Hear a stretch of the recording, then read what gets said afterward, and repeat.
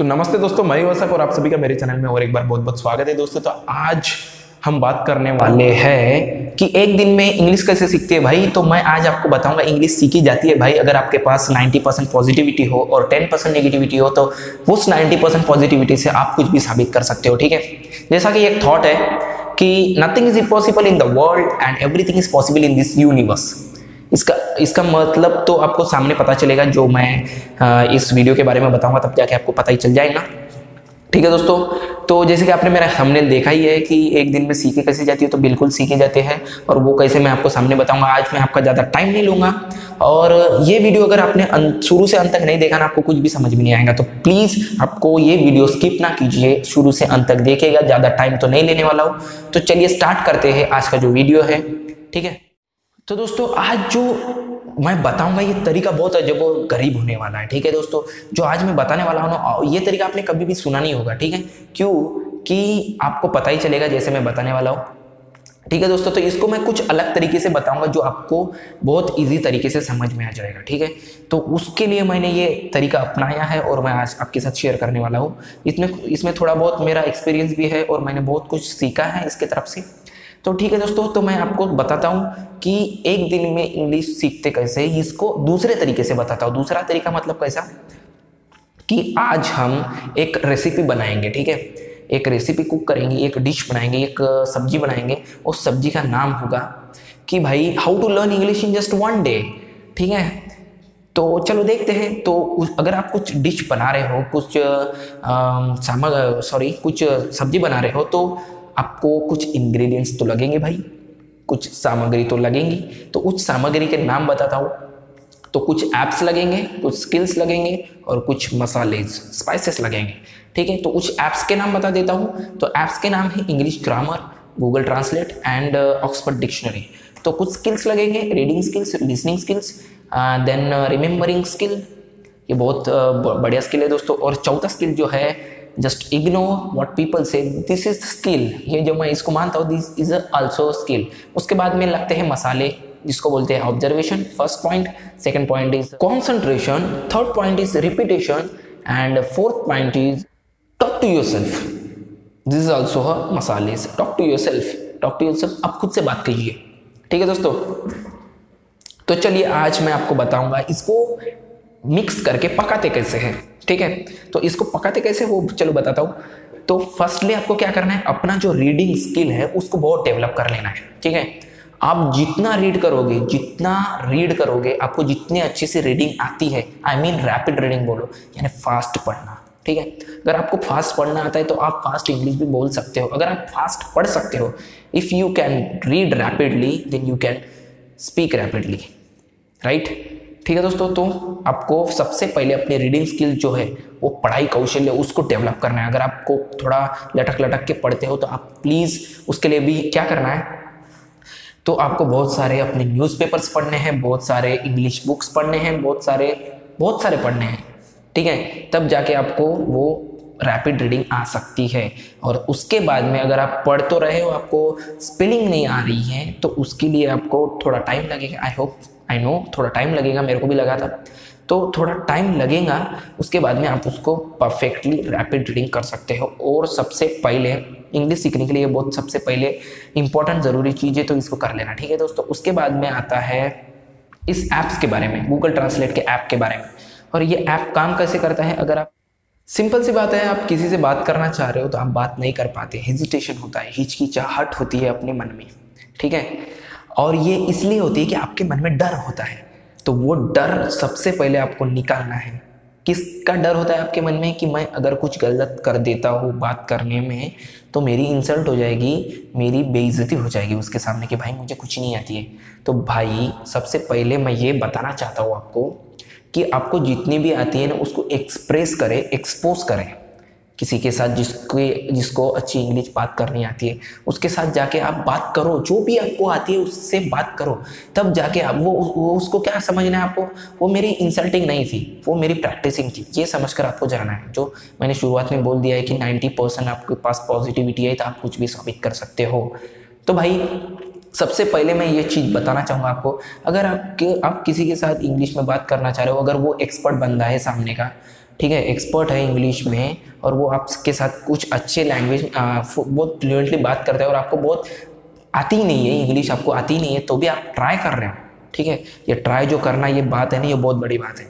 अगर आप ट्राई कर रहे हो ट्राई कर रहे हो ट्राई कर रहे हो, उसके साथ जो एक्सपर्ट है इंग्लिश में, और वो आपके ऊपर ताने मारते जा रहा है, मारते जा रहा है कि भाई ये क्या टूटी फूटी इंग्लिश बात कर रहा है, खुद की बेइज्जती कर रहा है। ऐसे वैसे बोलते जाएगा ना, तब जाके आप सीखते जाओगे। तो वो आपको निगेटिवली नहीं लेना है कि मेरी इंसल्टिंग हो रही है, वो आपको पॉजिटिवली लेना है कि मेरी प्रैक्टिसिंग हो रही है यहाँ पे। ठीक है? अगर हाँ तो ये अभी सबसे मेन बात रहेगी कि मैं स्टार्ट कैसे करूँ? इंग्लिश बात करना मुझे तो कुछ भी पता नहीं है इंग्लिश के बारे में। तो सबसे पहले मैं आपको बताना चाहूँगा कि आपकी जो रीडिंग स्किल्स है, जैसे मैंने बताया कि वो बहुत पक्की कर लेना है।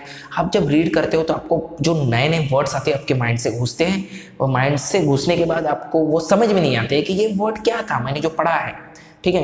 कि ये वर्ड क्या था, जो मैंने पढ़ा है मुझे तो समझ में नहीं आ रहा है। इसका मीनिंग ही नहीं मुझे पता तो उसके लिए अपने पास एक ऐप है।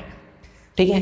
जो ऐप्स बोला था मैंने इंग्रेडिएंट्स में, सामग्रीज में तो ऐप है, जिसका नाम है गूगल ट्रांसलेट ठीक है? तो उस गूगल ट्रांसलेट में जाके वो जो आपने पढ़ा था रैपिड जो रीडिंग बुक में आपने जो पढ़ा था, जो रीड किया था, उसको जाके आप वहाँ पे जाके डालिएगा। जो मैं गूगल ट्रांसलेट जो भी ऐप बताऊँ अथॉरिटी अथॉरिटी मीन्स क्या होता है? तो अभी आपको भी नहीं पता। अथॉरिटी मीन्स होता है अधिकार। वो अगर आपको समझ में नहीं आ रहा तो डायरेक्ट जाने का गूगल ट्रांसलेट ऐप में। फ़र्स्ट लेफ़्ट साइड में इंग्लिश जो लैंग्वेज है, उसको कंपलसरी करके सेकंड जो आपकी लैंग्वेज होगी, जो भी आपकी मदर टंग होगी, जो आप समझ पाओगे जिस लैंग्वेज में जैसे मद, हिंदी मराठी इंग्लिश तमिल तेलुगु गुजराती बंगाली वॉट जो भी होगी उसमें जाके आप वहाँ पे सेलेक्ट कर दीजिएगा और जो जो अथॉरिटी जो अथॉरिटी जो वर्ड है ना उसको जाके वहाँ पे इंसर्ट कर दीजिएगा इंग्लिश कॉलम में। इंग्लिश कॉलम में इंसर्ट कर देंगे। उसके बाद उसका ट्रांसलेशन आपको कुछ ही सेकंडों में फ्यू माइक्रो सेकंडों में आपको मिल जाता है अगर आपका नेट स्पीड जो अच्छा है। तो उसका जो आप अगर आपको अभी कुछ भी नहीं पता था इस वर्ड के बारे में उस वो जो अभी आपने जो वर्ड पढ़ा है ठीक है? जो पढ़ा है उसमें अथॉरिटी लिखा था उसका मीनिंग आपको पता नहीं था। वो डायरेक्ट जाके आपने डाला गूगल ट्रांसलेट ऐप में उसको उसके बाद आपको उसका मीनिंग पता चल गया। तो इसका फ़ायदा क्या होता है? उसका मीनिंग था अधिकार अथॉरिटी मीन्स अधिकार ठीक है? अगर आप अगर इसका आपको मीनिंग अभी पता नहीं था ठीक है? और इसका फ़ायदा कब होता है कि जब आप कहीं भी कुछ एग्ज़ाम्स में बोलो कुछ यहाँ पे बोलो कुछ बुक्स में बोलो जब भी आप अथॉरिटी जो वर्ड पढ़ेंगे तो आपको पट से माइंड में आ जाएगा कि अथॉरिटी का मीनिंग होता है अधिकार। ठीक है? तो आपको क्या करना है? अभी जैसा कोई शो चल रहा है, कोई इंटरव्यू चल रहा है, कोई अभी कॉन्फ्रेंस मीटिंग चल रही है, वहाँ पे अभी कोई भी यूज़ करेगा, जो वर्ड है अथॉरिटी इसका पट से आपको पता चल जाएगा इसका वर्ड अथॉरिटी मीन्स क्या होता है? अधिकार होता है। तो ऐसे बहुत से वर्ड्स है जिसके दो दो तीन तीन मीनिंग्स होते हैं। अगर कोई बंदा बात कर रहा है तो उसको सुने। लिसनिंग स्किल यहाँ पे बहुत ज़रूरी होती है। उसको सुने, वो क्या बात कर रहा है? आपके साथ बात कर रहा है थर्ड पर्सन के साथ, किसी के साथ भी बात कर रहा है, लेकिन इंग्लिश में बात कर रहा है तो वो क्या बात कर रहा है? उसको आपको सुनना है, बहुत अच्छे तरीके से दिल से सुनना है कि वो क्या बात कर रहा है वो बंदा, ठीक है? तो उसको सुनने के बाद आपको क्या करना है कि आपको उसको रिमेंबर करना है। उसने क्या बोला था मेरे साथ? अगर आपकी रीडिंग स्किल्स अच्छी है तो वो आपको फटाक से वो आपको ध्यान में आ जाएगा कि उसने क्या बोला था। उसका भी मीनिंग तो आपको पता नहीं, लेकिन वो तो ध्यान में आ जाएगा, उसने क्या बोला था। फॉर एग्ज़ाम्पल उसने बोला था कि I am going to Chennai tonight मैं आज रात को चेन्नई जा रहा हूँ। इसका मीनिंग होता है ये। लेकिन आपको इसका मीनिंग नहीं पता है तो आपको क्या करेंगे? आपको ये सेंटेंस तो ध्यान में आ गया I am going to Chennai tonight ऐसा तो इसने कुछ बोला था। तो उसको डायरेक्ट जाके गूगल ट्रांसलेट ऐप में डालो। उसको फिर ट्रांसलेट में बदला दो। आपको मिल जाएगा, उसका मीनिंग क्या होता है? ठीक है? उसके बाद में इसके तो जो फ़ायदे बताया था वो मैंने आपको तो पता चल गया कि कोई inter I am going to Chennai tonight मैं आज रात चेन्नई जा रहा हूँ। कुछ वर्ड्स मिलके एक सेंटेंस बनता है। तो ऐसा सेपरेट सेंटेंस तो बना कि I am going to Chennai जैसा अभी आपको ये चेन्नई ये जो हो गया गाँव का नाम हो गया आपको पता ही है। गोइंग गोइंग यानी इसका मीनिंग क्या होता है वो जाके आप डालो वहाँ पे पता चल जाएगा। टू टू का मीनिंग क्या होता है वो डालो, वो आपको पता चल जाएगा। आई एम आई ठीक है? आई कब यूज़ करते हैं? आई एम कब यूज़ करते हैं? ये मैं आपको नेक्स्ट वीडियोस में बताते जाऊँगा। ये बेसिक्स है। तो आपको सिंपल सी इंग्लिश सीखना है विदाउट अ ग्रामर तो ये अच्छा तरीका है गूगल ट्रांसलेट ऐप के ज़रिए। उसके बाद में, अगर आपको कुछ कोई आदमी बोल रहा है तो उसको समझना कैसे है? तो आपको समझना ऐसे है, ठीक है? आपके पास दो ऑप्शन है। एक तो आपको पूरी की पूरी बंदी की बंदी डिक्शनरी रट लेना है, ठीक है? नहीं तो वो जो बंदा बोल रहा है, उसको अब, आपको तो समझ में नहीं आ रहा है। हर एक वर्ड आपको गूगल ट्रांसलेट में जाके ट्रांसलेट कर देना है, हर एक का मीनिंग आपको पता चल जाएगा।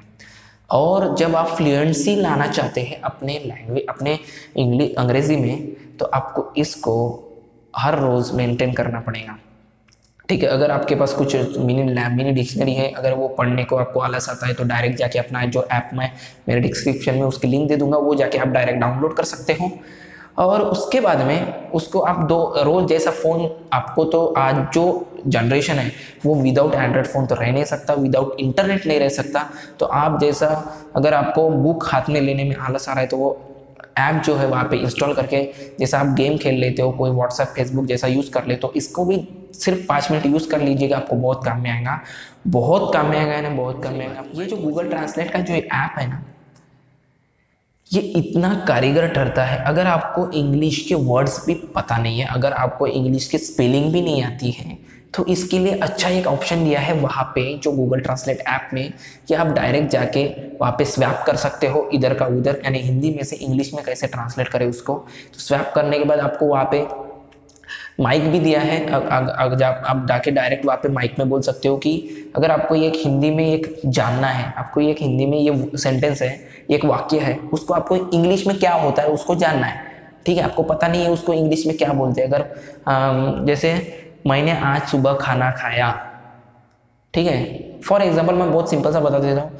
मैंने खाना खाया, मैंने आज दोपहर का खाना खाया, ठीक है? तो ऐसे आप जाके वहाँ पे बता, बोलोगे उस स्पीकर में तो वो आपको डायरेक्ट सुनेगा, वो स्पीकर फिर कैप्चर करेगा, उसको फिर रिकोगनाइज करेगा रिकोगनाइज करने के बाद डायरेक्ट इंग्लिश में ट्रांसलेट कर देगा। फिर उसको आप जाके बाहर किसी से भी बात कर सकते हो कि मैंने कि मैंने ऐसा सुना था तो इसका मीनिंग ये होता है तो ये पक्का यही मीनिंग है कि मैंने आज दोपहर का खाना खाया तो इसका मीनिंग ये होता है तो ये जाके आप आगे बात कर सकते हो। अगर कोई जान पहचान अच्छी तो ये किसके साथ बात करना है? जो अच्छे से अच्छी इंग्लिश बात करता हो एक्सपर्ट हो इंग्लिश बात करने में, उसके साथ जाके आप बात कीजिएगा, ठीक है? तो फिर वो भी बोलेगा, भाई, ये तो थोड़ी बहुत इंग्लिश बोल लेता है तो वो आप कुछ गलती है तो वो आप करेक्शन कर सकते हो वहाँ पे, ठीक है दोस्तों? तो ये बहुत, अगर आपको बात भी नहीं करनी आनी, अगर आपको लिखना आता है तो वो भी ऑप्शन वहाँ पे दिया गया है गूगल ट्रांसलेट ऐप में। वहाँ पे जा पे आप डायरेक्ट डायरेक्ट लिख सकते हो, ठीक है? डायरेक्ट डायरेक्ट लिखने के बाद आप उसको ट्रांसलेट कर सकते हो। तीसरी बात आती है दोस्तों, अगर आप इंग्लिश ग्रामर पक्का करना चाहते हो तो ग्रामर ऐप भी मैंने दिया है। वहाँ पे बहुत सारे टेस्ट होती है। फ्री में टेस्ट दिए जाते हैं ऑनलाइन एग्ज़ाम्स होते हैं वहाँ पे। अगर आपको कुछ बेसिक्स जो नॉलेज पाना चाहते हो तो उस ऐप में जाके आप पा सकते हो।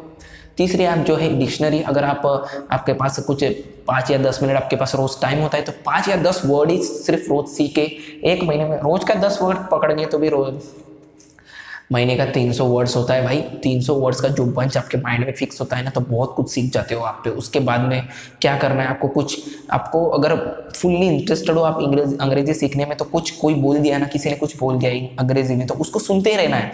अगर कोई बोल रहा है इंग्लिश में तो उसको सुनो। लिसनिंग पावर बढ़ाओ अपना उसको सुनो। उस, फिर उसके बाद में उसके ऊपर इमेजिन करो या रिमेंबर करो, उसने क्या बोला था मुझे? इसका मीनिंग मुझे पता करना है या नहीं करना है? तो उसको क्या बोला था? अभी जैसे उसने बोला था एक्सप्रेस करना। एक्सप्रेस करना मतलब क्या होता है भाई? एक्सप्रेस तो मैंने सुना है शताब्दी एक्सप्रेस होती है, राजधानी होती है, ये एक्सप्रेस उसका एक्सप्रेस और इसका एक्सप्रेस में क्या डिफरेंस है? तो जाके देखना है। एक्सप्रेस व्हाट इज़ नहीं तो जाके गूगल में सर्च करो आप। What is mean by express what is expressing express कैसे करते हैं खुद को? तो ये एक्सप्रेस अलग है, वो एक्सप्रेस अलग है। ये आपको बहुत काम आएगा। उसके बाद में एक्सप्रेस करना है, यानी व्यक्त करना, खुद को व्यक्त करना, ठीक है? तो ये जैसे बहुत से वर्ड्स हैं, आप जाके सीख सकते हो। तो ऐसे ग्राफ करते रहो, जैसे ढूंढते रहो, ढूँढने से भगवान भी मिल जाता है, आपको पता है। एक्सप्लोर करो, जैसा मेरा चैनल का नाम ही एक्सप्लोरिंग है, कुछ ना कुछ ढूंढते रहो, सब कुछ मिलेगा आपको, ठीक है? दुनिया में ऐसी कोई भी चीज़ नहीं है जो ढूँढने से नहीं मिल सकती है।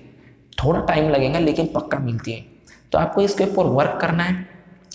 तो दोस्तों जितना मैंने आज बताया है, इस वीडियो में उतना ही कीजिएगा। जो बाकी का जो है, उसके बाद में और एक बात बताना चाहता हूँ। कुछ आपको दिल से न क्या करना है ना तो एक बात ज़रूर कीजिएगा। जो वो है कि कुछ सेंटेंस होते हैं, वो आपको फर्स्टली ऑब्ज़र्व करना होता है। ऑब्ज़र्व करना होता है, उसके बाद में ऑब्ज़र्व करने के बाद उसके ऊपर कॉन्सेंट्रेट करना होता है।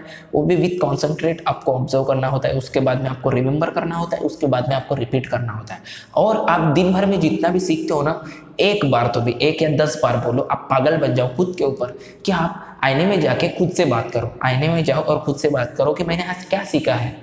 और आप जब आईने में जाके खुद से बात करते हो ना मिरर को देख के तो आपको अलग सा कॉन्फिडेंस आता है। वो एक प्रैक्टिसिंग हो जाती है आपके ऊपर। मैं वैसे ही करता हूँ रोज। मुझे लोग पागल बोलते हैं। बहुत, मेरे को बहुत अच्छा लगता है जब मुझे लोग पागल बोलते हैं, हेड़ा बोलते हैं, क्योंकि मैं उस चीज़ के पीछे पागल हो जाता हूँ, तब जाके वो मुझे मिलती है। जैसे मेरे प्यारे भाई संदीप महेश्वरी जैसे बोलते हैं कि अगर आपको कुछ पाना है तो उसके ऊपर थोड़ा सा तो भी पागल बनना पड़ेगा, तब जाके वो आपको अचीव कर पाएँगे। तो मैं थोड़ा पागल बन गया था, इसलिए मुझे थोड़ा तो भी पता है। ठीक है दोस्तों तो आप भी थोड़ा पागल बनो। और सबसे मेन बात, आपको ये माइंड में रखना ही नहीं कि मुझे इतनी इंग्लिश आती है, मैं इतना ही बात करता हूँ तो मुझे लोग क्या बोलेंगे? ये आपके मन से निकाल देना है। पहली बात ये करना है कि हेजिटेशन बिल्कुल नहीं होना। कुछ अच्छा काम करना चाहते हो तो आपको पूरे दिल से करना है। किसी चीज़ की डर नहीं होनी चाहिए। अगर आप अच्छा काम कर रहे हो तो किसी को डरो मत। सिर्फ़ रिस्पेक्ट करो उस चीज़ को। अगर वहाँ, जिस चीज़ में वहाँ पे आपको रिस्पेक्ट करना है, वहाँ पे रिस्पेक्ट कीजिएगा।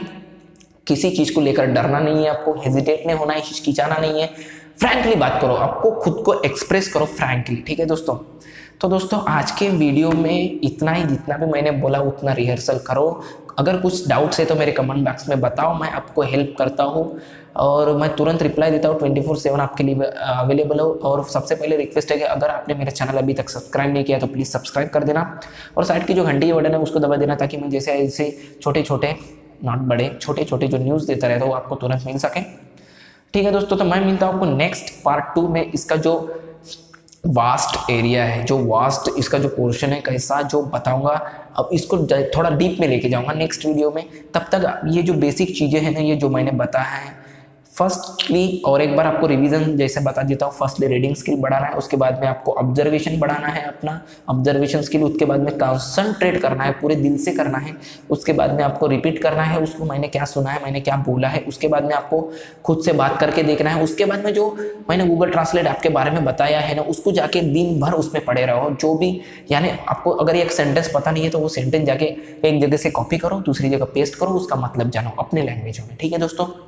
तो ये था बेसिक अगर आप इसको बेसिक जो करते हैं इंग्लिश डिक्शनरी में दस वर्ड पढ़ना, रोज का जो रीडिंग बुक्स है, उसको थोड़ा थोड़ा पढ़ना या कुछ ऐप्स में जाओ, कुछ आर्टिकल्स पढ़ो अपने गूगल में जाके और कुछ, आपको तो एक रोल मॉडल चुनना चाहिए दोस्तों। अब मेरा रोल मॉडल बहुत लोग हैं। फॉर एग्जांपल जो इंग्लिश फ्लुएंट्स बोलते हैं ना, वो मुझे बहुत पसंद आते हैं। मैं उनको ऑलवेज उनका कोई इंटरव्यू रहा, कुछ शो रहा, मैं कभी मिस नहीं करता। और वो जो बोलता है ना उसको मैं कॉपी करता हूँ कि जैसा विराट कोहली बोलता है आफ्टर द मैच जो कॉन्फ्रेंस मीटिंग देता है ना, वो मैं हर बार सुनता हूँ कि वो क्या बात कर रहा है, कैसे बात कर रहा है, उसकी ट्यूनिंग कैसी है, उसके हर वर्ड्स के प्रोनाउंसिएशन कैसे मैं हर बात सुनता हूँ। तो आप भी सुनिएगा। तो दोस्तों, ये बहुत लंबा सफ़र है इंग्लिश सीखने का और लेकिन अगर आप पूरे दिल से करते हो तो आपको बहुत छोटा लगता है। अगर आप दिल से कुछ भी चीज़ करने जाओ ना, बहुत जल्दी मिल जाती है। थोड़ा हार्ड वर्क तो करना पड़ता है हार्ड वर्क से ज़्यादा स्मार्ट वर्क करना पड़ता है। ट्वेंटी फ़र्स्ट जनरेशन चल रहा है, सब कुछ तो ऐप्स में आ गया है। पहले तो स्पोकन इंग्लिश क्लासेस लगाओ, इतना पैसा खर्च करो, उतना करो, सब कुछ हाथ में है। अपने हाथ में दुनिया रखकर आप बाहर जा रहे हो तो ये बहुत गलत बात है दोस्तों, ठीक है? तो दोस्तों, आज के लिए इतना ही। आई होप कि आपको ये वीडियो बहुत पसंद आया होगा। अगर पसंद आया होगा तो लाइक करो शेयर करो और लाइक करेंगे तो मेरा हौसला बढ़ेगा, मैं पार्ट टू में और बहुत सारी चीज़ें आपको बताऊँगा कि डीपली कैसे जाते हैं फ्लुएंसी कैसे लाते हैं। आपको तो अभी एक दिन में तो फ्लुएंसी आएँगी नहीं, पहले ये बेसिक चीज़ें सीख लो, उसके बाद में इसको फ्लुएंट कैसे बनाते हैं वो मैं बताऊँगा। मैं भी अभी तक दोस्तों फ्लुएंट नहीं हूँ I am not fluent in English speaking so दोस्तों I am also improving myself now days so दोस्तों, मैं भी पढ़ता हूँ, आप भी पढ़ो मेरी एक इच्छा थी कि मैं, जो मेरा एक्सपीरियंस है और जो मैंने सीखा है, जो बाहर से सीखा है, जो अंदर से सीखा है, मैंने खुद से सीखा है, सब आपके साथ शेयर करूँ। ठीक है दोस्तों? तो नमस्ते दोस्तों, मैं मिलता हूँ आपको नेक्स्ट वीडियो में। वीडियो देखने के लिए बहुत बहुत शुक्रिया दोस्तों। धन्यवाद।